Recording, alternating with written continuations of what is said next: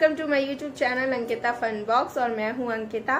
तो आज की वीडियो आप लोगों के लिए बहुत ज़्यादा क्रिएटिव होने वाली है बिकॉज़ मैं आप लोगों को बताऊँगी कि कैसे लिमिटेड मेकअप प्रोडक्ट्स के संग आप एक मेकअप लुक क्रिएट कर सकते हैं। बिकॉज़ थोड़े टाइम पहले मेरे संग एक प्रॉब्लम हुई थी कि मेरे पास मेकअप बहुत कम था और मुझे समझ में ही नहीं आ रहा था कि मैं कैसे क्या करूँ मुझे ऑल ऑफ़ अ सडन कहीं जाना पड़ा था।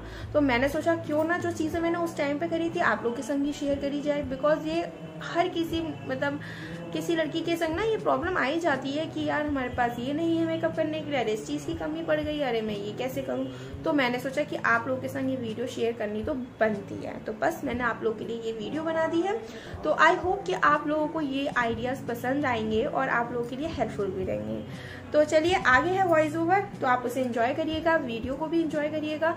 लेकिन आपको मैं बता दूँ कि पूरी वीडियो देखिएगा, तभी आपको लास्ट तक पता चलेगा कि मेकअप है, वो कैसे टर्न ओवर होता है। तो चलिए, अब मैं चलती हूँ और आप लोग एंजॉय करिएगा, लेकिन जाने से पहले ये जो साइड में बेल आइकन है ना, इसे ज़रूर बजा दीजिएगा अगर आप लोग नए हैं तो बिकॉज़ आप मेरे सब्सक्राइबर बन जाएँगे और आगे आने वाली जो भी मैं वीडियो पोस्ट करती हूँ तो उसका नोटिफिकेशन आप लोगों के पास पहुँच जाएगा और आप लोग इन्जॉय करेंगे मेरी वीडियोज़ को।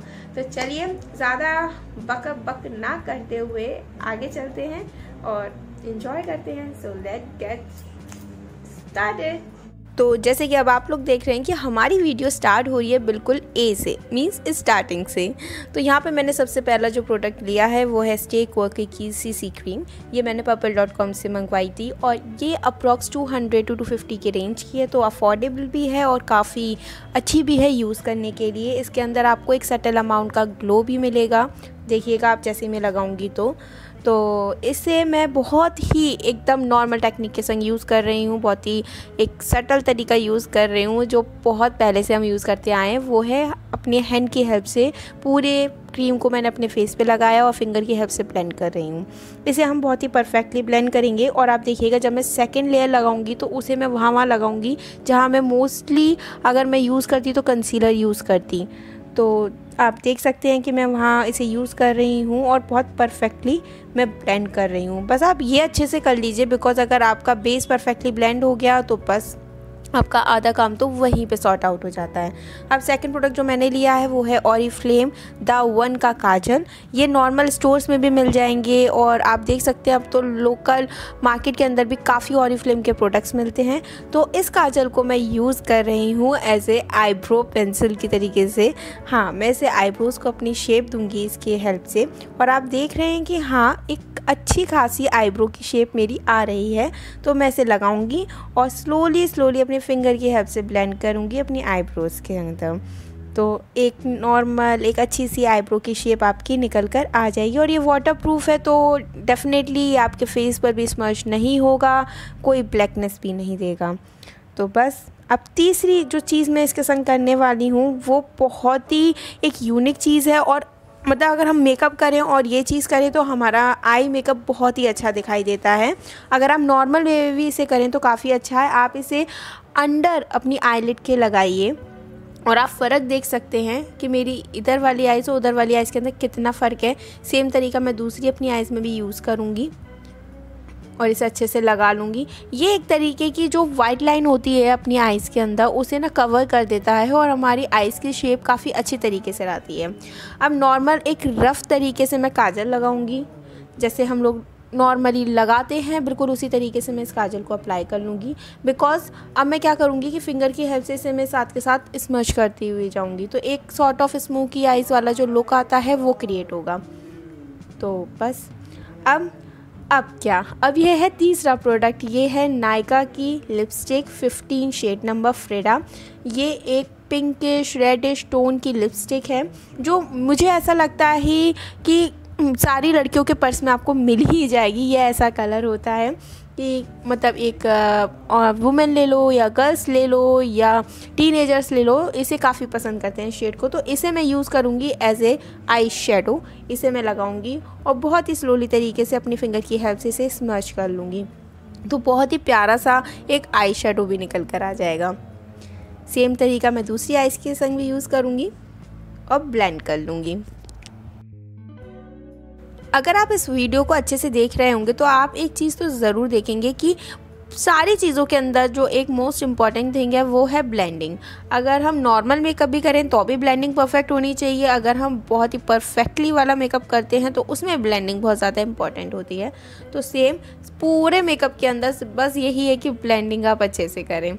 तो अब मैं क्या कर रही हूँ, मेरे पास लाइनर नहीं था तो मैं काजल को ही यूज़ करूँगी। अब मैंने नॉर्मल इसे काजल लगाया, बहुत रफली लगाया तो इसके अंदर आपको बिल्कुल ही कोई प्रैक्टिस टाइप की ज़रूरत नहीं है, कोई भी इसे यूज़ कर सकता है इस तरीके को। मैंने बहुत ही रफ़ तरीके से इस काजल को अप्लाई करा और मैं अपनी फिंगर की हेल्प से इसे दोबारा स्मर्च करूँगी। और स्मर्च करने के बाद क्या है कि ये बहुत ही एकदम सटल हो जाएगा अपनी जगह पे। तो बहुत, एक नॉर्मल जो एक होता है ना स्मोकी काइंड ऑफ़ लुक वो निकल कर आया है। अब देखिए ये वाली टेक्निक इसमें मैंने क्या करा था कि मैंने लिपस्टिक को काजल के संग मिक्स कर दिया था। क्यों? क्योंकि आपको पता है, जब हम इन दोनों शेड को मिक्स करेंगे तो एक सॉर्ट ऑफ़ ब्राउन कलर बनकर आएगा। अब मुझे कॉन्टूरिंग करनी थी तो देखिए बिल्कुल शेड वही निकल कर आया था। ये एक मैंने चांस लिया था उस टाइम पर, जब मैं ये वाला मेकअप कर रही थी। बट यार, क्या निकल कर आया था? सीरियसली आप खुद देखिए इस चीज़ को। एक्चुअली क्या था कलर था, वो मुझे ब्लशर का भी काम कर रहा था ब्राउन कलर बना, वो कॉन्टोरिंग का भी काम कर रहा था। तो देखते जाइएगा धीरे धीरे करके जैसे मैं इसे ब्लेंड करती जाऊँगी, बहुत ही एक प्यारा सा शेड निकल कर आएगा। देखिए आप। अब क्या कर रही हूँ, अब मैं नोज़ को कॉन्टो कर रही हूँ, उसके लिए मैंने थोड़ा सा ब्लैक कलर और मिक्स करा था मीन्स काजल। क्योंकि मुझे एकदम शार्प वाली नोज़ अपनी दिखानी थी एक्चुअली तो बस मैं इसी तरीके से कर रही हूँ, आप थोड़ा सा कम कर सकते हैं, आपके ऊपर डिपेंड करता है।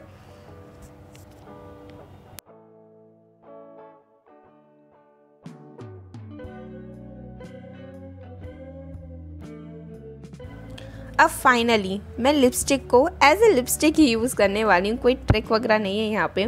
मैंने पर बहुत लाइट हैंड से, बहुत ही लाइट तरीके से इस लिपस्टिक को अप्लाई करा है। बहुत ये काफ़ी पैपी कलर था तो मुझे बहुत ज़्यादा पॉपअप नहीं करना था अपने लिप्स को। तो मैं हल्के हाथ से इसे लगाती जा रही थी और फिंगर की हेल्प से ब्लेंड करती जा रही थी। अगर आप इस पूरे मेकअप को देख रहे होंगे तो आपको ज़रूर याद आ रहा होगा, जब हम पहले मेकअप करा करते थे या देखा करते थे अपनी मम्मियों का मेकअप या पहले बहुत टाइम की, कि यही सारी चीज़ें यूज़ करते थे कि अपनी फिंगर से ब्लेंड कर दिया, अपने हाथों से अपने फाउंडेशन को लगा लिया, कोई स्पॉन्ज यूज़ नहीं करना, कोई ब्यूटी ब्लेंडर यूज़ नहीं करना। तो आज मैंने वही तरीका अपनाया है बस। और आए ये था एक मैजिक तो ये मैंने टिकटॉक वगैरह से सीख लिया था। हाँ तो या, ये फाइनल लुक है और इन तीन चीज़ों के संग मैंने इस मेकअप लुक को क्रिएट किया। एंड आई होप सो कि आप लोगों को ये ट्रिक्स ये क्रिएटिविटी पसंद आई हो और आगे चल के आप लोगों के लिए ये यूज़ में भी आए।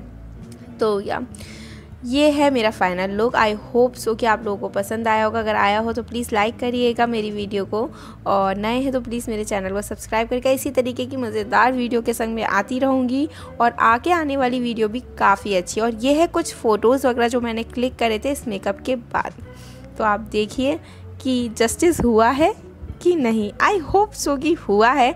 But as according to you all आप प्लीज़ मुझे कमेंट करके ज़रूर बताइएगा. तब तक बाय बाय टेक केयर